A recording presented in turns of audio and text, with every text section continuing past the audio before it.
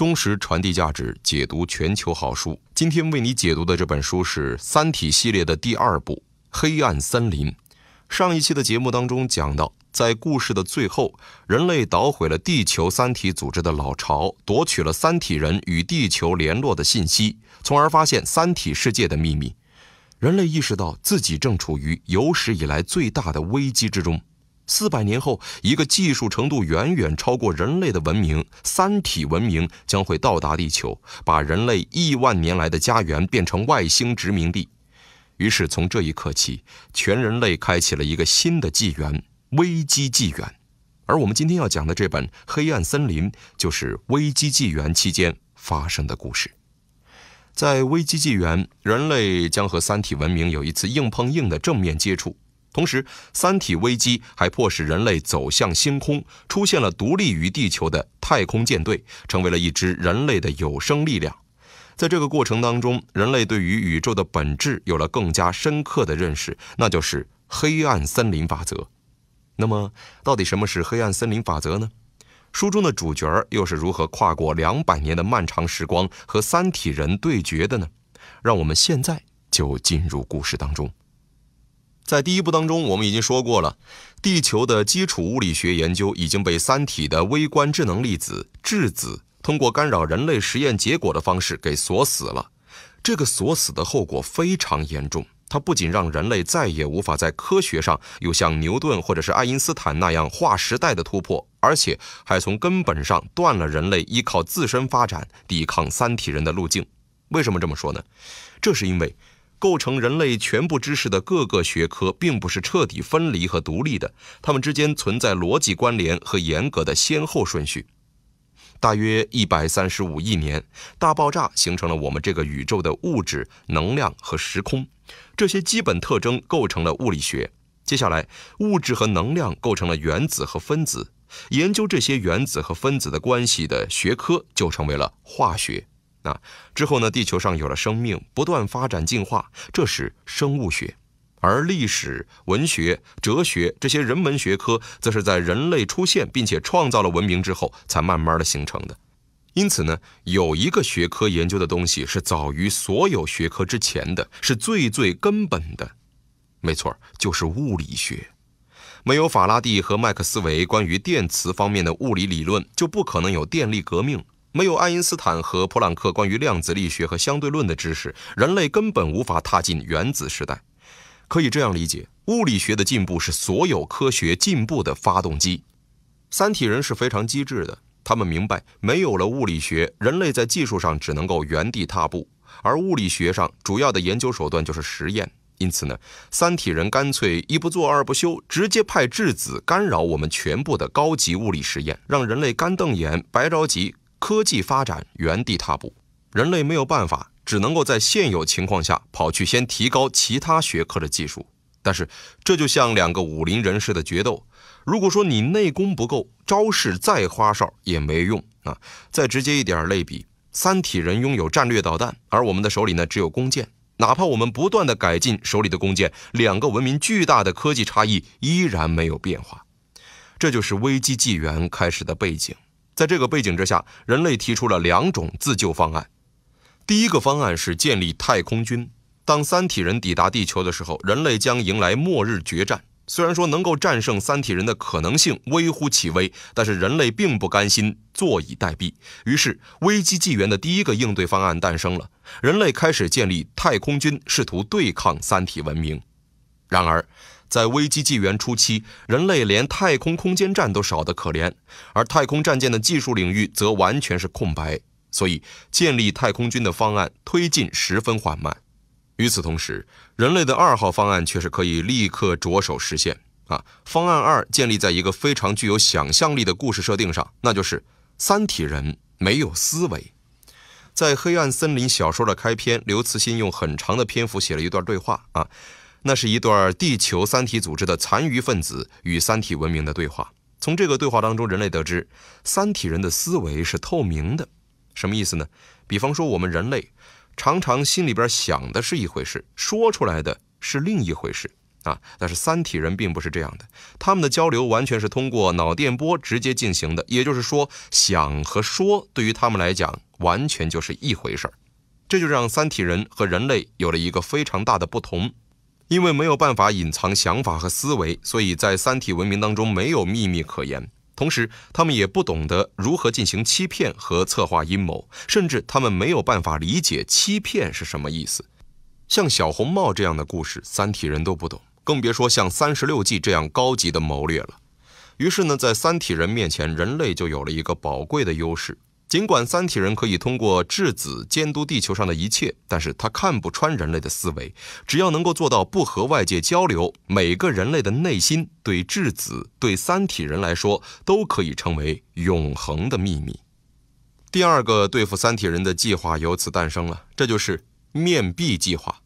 它的具体内容是在人类社会当中选出杰出的人，让他们完全依靠自己的思维制定战略，并且将战略完全保留在脑海当中，不告诉任何人。而在现实生活当中，则要用实践行为作为一种手段迷惑敌人。简单的来说，面壁人的行为就是：你以为我在做的事情，不是我真正要做的事情。哎，这种高超的谋略之战，强调谋略的精细与人选的精当。数量上却不必太多，所以联合国行星防御理事会选了四个人作为面壁者。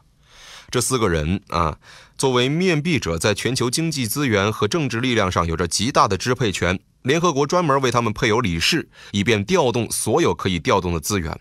而面壁者的任务，则是用种种假象建立一个精心伪装的误导方案，让任何人都不知道他真实的意图，从而在和三体人对决的时候出其不意取得胜利。一言以蔽之，明修栈道，暗度陈仓。这就是人类在危机纪元当中应对三体文明的两种方案：一种是正面的，以太空舰队直接对抗三体人；第二种呢是迂回的，依靠人类的长处和谋略来对抗三体人。那么两百年来，这两个计划究竟执行的怎么样呢？人类自己的太空舰队可堪一战吗？面壁计划可以欺骗三体人吗？首先，我们一起来看面壁计划吧。在佛教禅宗当中，面壁所代表的是心无旁骛、静修参悟；与面壁相对应的是破壁，即大彻大悟。为了应对面壁计划。地球三体组织的残余势力选出了破壁人啊，目的呢就是去攻破面壁者的思维壁垒，参透他们的真实意图，为三体人的降临做出最后的努力。和禅宗的顿悟相比，这是一种多么残酷的另类参悟！因为破壁之日就是面壁计划失败之时。那么，面壁计划和咱们这本书的主人公罗辑又有什么关系呢？毕竟和高大上的面壁计划相比，罗辑实在是太普通了。他是一个三流学者，搞的还是比较冷门的社会学研究，每天玩世不恭，生产着一些学术垃圾，基本上是处于混吃等死的状态。但是呢，他的主角光环在于，他和我们在第一部当中讲到的大名鼎鼎的地球三体组织的领袖叶文洁有过一面之缘。在一场短暂的会面当中，叶文洁建议罗辑开辟出一个新的研究领域——宇宙社会学。他还给罗辑两条不证自明的公理：第一，生存是文明的第一需要；第二，文明不断增长扩张，宇宙中的物质总量保持不变。他告诉罗辑，从这两条公理开始，他可以像欧几里得推导出各种几何定理那样，推导和建立一整个的宇宙社会学。但是，罗辑和叶文洁会面的时候，全世界都已经知道了《三体》的事情，外星人的研究已经烂大街了。罗辑也不够用心啊，自然就没有搞出个什么名堂。在一天，一场偶然的车祸降临到了罗吉的身上。他从车祸当中醒来之后，直接被拉上了飞机，送往了大洋彼岸的联合国总部。那儿正是面壁者的第一公布现场。当时，先后已经有三位面壁者被选了出来，他们分别是美国国防部长、委内瑞拉总统、获得过诺贝尔奖的科学家。排在这三位了不起的大人物之后，是第四个面壁者罗吉。这一切来的毫无预兆，罗辑对此毫无准备。在面壁计划生成的同时，三体组织的破壁计划也正式启动。但是破壁人却只有三位，罗辑没有对应的破壁人，因为他根本还没有自己的面壁计划。啊，联合国的人告诉他，他成为面壁人的原因和他的使命需要他自己去参透。面对突如其来的重担，罗辑什么也没有参透出来，彻底蒙圈的他不知道要做什么，更不知道如何做啊！相信不少的人都有这样的感受，身边的人纷纷胸有成竹地进入工作，自己呢却完全摸不着头脑，呆立在原地。这样的情况下，失败和放弃就成为了一个非常可行的选择。但是和常人不同的是，罗辑作为面壁者，可以调动巨大的资源。简单的来说啊，就是他可以为所欲为，而且呢还不需要对任何人解释。谁知道他是不是已经在面壁了呢？谁知道他做的事情是不是一种战略欺骗呢？一切的一切都可以是计划的一部分。当其他三位面壁人兢兢业业地投入工作，开始研究巨大当量的核弹、超级计算机等项目的时候，罗辑心里想的却是：去他的面壁计划吧，老子要尽情地享受生活。他要求联合国给他找一个风景优美的庄园，开始了自己奢侈放纵的隐居生活，沉浸在完全不问世事的状态当中。和另外几位面壁人耗费的巨额资源相比，罗辑的消耗可以说是九牛一毛。而且呢，相比于其他面壁人大张旗鼓、煞有介事的战略行动，罗辑的方式也显得更为神秘莫测。所以一直以来呢，联合国也没去管他。就这样，五年的时间过去了。五年当中，其他三人的面壁计划进行有序，罗辑结婚生子，过着平静的日子。然而，就在危机纪元的第八个年头，面壁计划迎来了第一个破壁人。被破壁的是美国国防部长啊，他搞了一个太空版的神风敢死队，什么意思呢？这位国防部长从国际战争当中汲取了经验，集中了很多训练有素的太空兵，组成了一支小分队。国防部长声称，这支小分队会以自杀式袭击来毁灭三体舰队。这个计划听上去困难重重，因为本身接近三体舰队就是一个非常困难的事情。但是，破壁人看穿了这个计划。原来，这支自杀小分队从来不是要直接攻击三体舰队，他们的目标是地球舰队。通过在地球舰队上秘密布置自杀装置，让地球全部战舰同时自毁，像自杀式袭击一样，与三体舰队同归于尽。破壁人嘲讽了一通国防部长这套泯灭人性的策略，国防部长在绝望当中自杀了。接下来，第二位面壁人，南美洲委内瑞拉的硬汉总统，他的策略是搞超级核弹。然而呢？炸弹的攻击目标也不是三体人，他的想法比美国国防部长更可怕。他要让整个太阳系和三体人同归于尽。具体的方式是，先用核弹轰炸最靠近太阳的水星，让水星坠落到太阳当中去，引发太阳内部的连锁反应，让太阳变成吞噬一切的死神。连锁反应最终将会让金星、地球、火星这些行星一个一个的像流星一样坠落到太阳里去。到时候，无论来犯的三体舰队多么强大，都会随着太阳系的毁灭瞬间灰飞烟灭。当然，这是设想当中的最坏情况。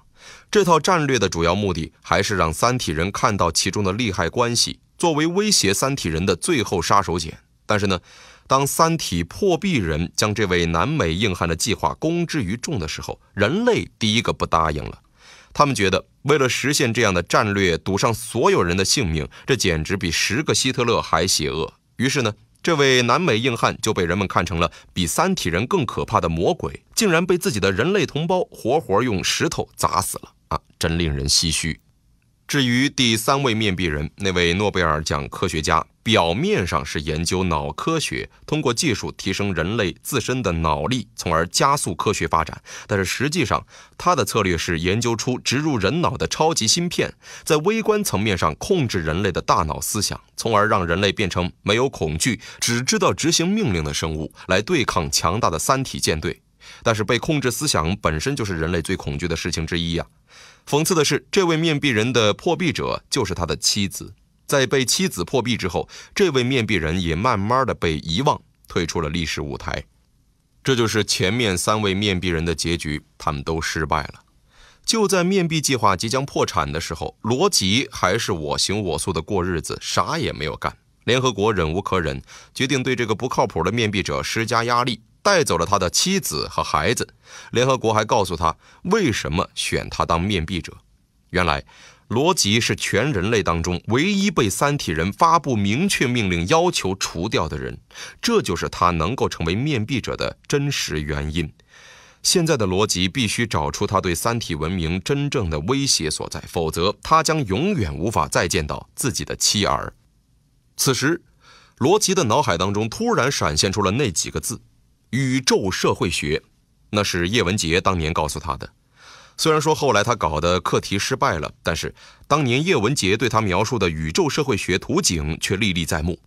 两条公理：第一，生存是文明的第一需要；第二，文明不断增长扩张，宇宙中的物质总量保持不变。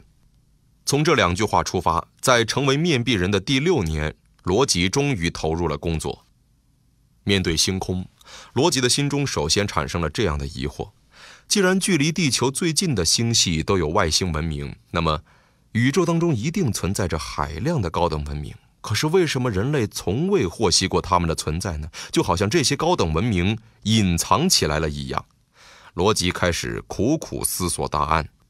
首先，按照叶文洁所说的两条公理，宇宙中的总体物质和资源是不变的，但是宇宙中的文明就和培养皿当中的细菌一样迅速增长。为了获取宇宙当中的物质资源，所有的文明都会投入一场残酷的竞争。可是，如果是这样，宇宙应该早就拥挤不堪了。可是，为什么在我们看来它还是如此的空旷呢？这是因为宇宙猜疑链的存在。什么是猜疑链呢？让我们把宇宙想象成为一个黑暗森林，每个文明都是带枪的猎人。作为其中一个猎人，你是否敢向一个你刚刚发现的猎人打招呼？你不敢，为什么呢？设想，如果说那个猎人是恶意的，那么暴露了自己位置的文明马上会被击毙。即便那个猎人声称自己是友善的，但是你怎么能够确认这一点呢？也许他就是要你放下警惕心，然后呢再消灭你啊！再退一步来说，就算可以确定他是友善的，可是你又怎么知道在他的心里没有在猜疑你是否有恶意？要知道，在宇宙这样的黑森林中，隔着遥远的距离，完全有效的沟通是不可能的。于是，文明之间只剩下不断的猜疑，这就是猜疑链。这种猜疑链永远无法消解，在宇宙的黑暗森林当中，它会一直延续下去。在这种情况之下，文明的善恶和道德都成为了无关紧要的东西。一旦文明进入了猜疑链，能够做的选择只有两个。攻击对方或者隐藏自己，而按照第一，生存是文明的第一需要，可以推论出，为了生存下来，文明必须隐藏自己。在无法隐藏自己的时候，攻击就成为了唯一的选择，并且，文明并不是只有在受到威胁的时候才会选择攻击的。地球的生命早在三十多亿年前就诞生了，而人类文明只有五千年的历史。这五千年当中，现代技术是在最后的三百年才发展起来的。这种速度在宇宙尺度上，与其说是发展，不如说是爆炸。这就是说，在宇宙的森林当中，一个在远距离上看可能还处于萌芽期的文明，很可能突然技术爆炸，成为一个有威胁的对手。那么，为了生存，你会选择打击他，还是养虎为患，等他做大成事？啊，答案不言自明啊。讲到这里，其实一个宇宙社会学的完整图景已经显现了出来。宇宙就是一座黑暗森林，每个文明都是带枪的猎人，他必须小心翼翼，像幽灵一样隐蔽，因为林中到处都是和他一样前行的猎人。如果说他发现了别人，不管是天使还是魔鬼，不管是老人还是婴儿，他能够做的只有一件事儿：开枪消灭对方。在这片森林当中，他人就是地狱。任何暴露自己的人都将很快被消灭，这就是宇宙社会学的真相。只要发现了另一个文明，那么攻击就是必然的选择。仰望星空，思考了无数日夜的逻辑，终于参透了这个可怕的真相。接下来，罗辑需要做一件事儿，那就是去验证宇宙的黑暗森林法则。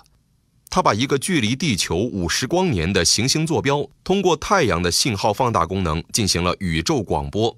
在第一部当中，叶文洁也是通过这样的方式给三体星系发出了信号啊。如果说黑暗森林理论真的成立，那么这个被罗辑暴露位置的恒星很可能会被别的文明打击摧毁。此时，人类的冬眠技术已经成熟，可以通过特定的措施让人类陷入沉睡，身体跨越漫长时空而不会衰老和死亡。罗辑的妻儿就已经处于冬眠之中了。发布了宇宙广播之后，罗辑也进入了冬眠状态。如果说他的策略真的生效了，也就是五十光年外的那颗行星真的被攻击了，就可以唤醒他了。到此为止，罗辑的使命告一段落。罗辑冬眠之后，面壁计划渐渐被人们所遗忘。但是，危机纪元的历史还是随着所有人的恐惧和希望，不断的向前奔涌。接下来，我们就来讲一讲人类的太空军计划。危机纪元初期，世界转向战时经济体制，全力发展太空军事。这带来了什么样的后果呢？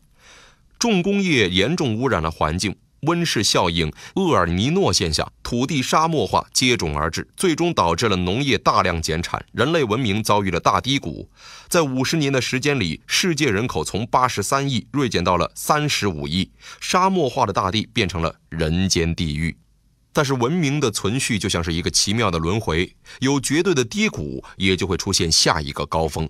在危机纪元的第一百年左右。大低谷结束了，从危机纪元最初的巨大恐慌当中恢复过来的人类提出给岁月以文明，什么意思呢？就是把人类自身的发展重新放在第一位，把对抗三体人放在了第二位，集中精力搞建设，用了二十年时间实现了人类的文明复兴。太空军的计划获得了飞速的发展，昔日的太空作战设想终于不是一纸空梦。到危机纪元第两百年的时候，人类已经建立起了庞大的太空舰队。因为可控核聚变技术的成熟，人类已经能够随心所欲地使用核能。依靠用之不尽的能量，人类在沙漠化的地表之下建造了宛如巨大树林的地下城市。与此同时呢，人类检测到一个疑似是三体文明探测器的东西正在逐渐靠近地球，那是一个水滴形状的航空器。在望远镜的观察当中，显得精致小巧。它的表面是一个绝对光滑的镜面，优美的弧形外表让它像一滴温和哀婉的眼泪。信心满满的人类认为那是三体舰队派来谈判的和平代表。于是，人类也启动了这些年来的科学成果。两千艘太空战舰从木星基地起航，气势磅礴驶向太空，去迎接水滴的到访。太空中的舰队排成了方阵，派出飞船向水滴前进。在与水滴的距离几乎为零的时候，通过探测，水滴的外表震惊了所有人。在人类创造的物体当中，即使是最光滑的表面，在高倍显微镜下也会暴露出粗糙不堪的样子。但是水滴的表面，无论被放大多少倍，依然是光滑的平面。它使用的是一种人类无法想象的材料。就在人类的巨大震惊当中，水滴迅速启动了。它以人类舰队根本无法反应过来的速度发动了攻击，像一颗直线冲刺的子弹，依次穿透了排成矩阵的一艘艘战舰，轻松的如同是穿针引线。只用了不到三十分钟，人类全部的太空力量，两千艘太空战舰近乎全毁，只有少数几艘逃出升天。而水滴根本不屑于使用什么黑科技的攻击方式，它用的只是人类最熟悉的方式——撞击。盲目自信的人类认为他们建造的飞船已经赶上和超越了三体文明了，殊不知蒙古骑兵的速度也超过现代坦克。当骑兵冲向坦克，会是什么后果呢？人类忘了自己和三体人在科技级别上的差异，忘了自己的基础科学早就被那个和水滴同样可怕的质子锁死，于是，一切的努力都成为了螳臂挡车，人类的信心再度熄灭，文明的火焰又一次暗淡了。水滴过后，末日战场上一片死寂，为数不多的几艘战舰因为及时逃离幸存了下来。尽管侥幸存活了下来，但是他们知道，作为战场上的逃兵，自己再也不能返回地球了。他们只能够驶向宇宙更深处，为地球保留文明的火种。在这几艘战舰之间，黑暗森林的理论竟然也是适用的。在逃亡的战舰上，现有的资源并不足以维持所有人的生命。根据宇宙社会学的两条定理，几艘战舰必定不能够同时存活。这样一来，争夺资源的这几艘战舰就像是宇宙当中的几个不同的文明，他们之间已经形成了对方会不会为了夺取资源攻击我的猜疑链。于是，一个残酷的选择摆在他们的眼前：要么等死，要么攻击其他战舰。最终，蓝色空间号成为了这个黑暗森林里的赢家。它摧毁了其他舰船上所有的生命，搜集整合起全部物资，驶向黑暗未知的宇宙。这艘蓝色空间号将会发现宇宙除了黑暗森林之外的另一个巨大的秘密，请期待它不久之后的再度登场。接下来，让我们从星空当中回到地球，再一次回到主人公罗辑的身上。太空舰队几乎全军覆灭，就在万念俱灰的时候，人们发现那个远在五十光年之外被罗辑公布了坐标的星系，在不明力量的打击下毁灭了。事实终于证明，罗辑的理论是对的。人类世界立刻宣布重启面壁者计划，唤醒了冬眠当中的罗辑。罗辑也清楚，人类现在只有一个办法，那就是用黑暗森林的原理威慑三体人。除非三体人停止攻击，否则人类将发布太空广播，公布三体文明的星系坐标。但是这是一个同归于尽的办法。公布了三体的位置，发射信号的地球的位置也就暴露了。整个太阳系都处在危险之中，宇宙森林里的那些可怕猎人在摧毁了三体文明之后，同样不会放过地球。这就好像是用人肉炸弹威胁要和对方同归于尽，人类赌上了整个太阳系的身家性命，在威胁三体文明。然而，三体人知道了这个计划，他们用水滴挡住了太阳，太阳就像是人类向宇宙发射信号的放大器喇叭。水滴遮挡住了太阳，人类的放大器就被屏蔽了。在这种情况之下呢，罗辑开启了他作为面壁人的第二个谋略。按他的要求，人类在太阳轨道上布置了一层油膜物质，表面上看呢，是为了到时候引爆这些物质，扩散成尘埃云团，让两百年后抵达的三体舰队在这些尘埃云中留下踪迹，为人类提前做预警。而实际上，这些油膜物质的位置是罗辑精心布置的，一旦爆炸形成的尘埃云会成为一种特定图案的遮挡，可以使得太阳光发生闪烁。这个闪烁信号所传达的将是三体星系的具体位置。这等于是绕过了水滴的屏蔽，让太阳变成了一个宇宙电报发射器，而这个发射器的按钮就在罗辑本人身上，片刻不离。他知道质子正在密切地监视着他，于是他向操纵质子的三体世界发出了威慑喊话：要么公布三体星系的位置，两个文明都在黑暗森林的打击中同归于尽；要么三体停止入侵，永远滚出太阳系。千钧一发之际，三体世界做了个决定：质子在空中展开，显现了一行字儿：“我们是败在了计谋上。”三体舰队撤退了。人类文明与三体文明进入了威慑和对峙的状态。五年后，罗辑一家人坐在一片夕阳下的草地上，阳光照耀大地，人类的历史进入了新时代，威慑纪元。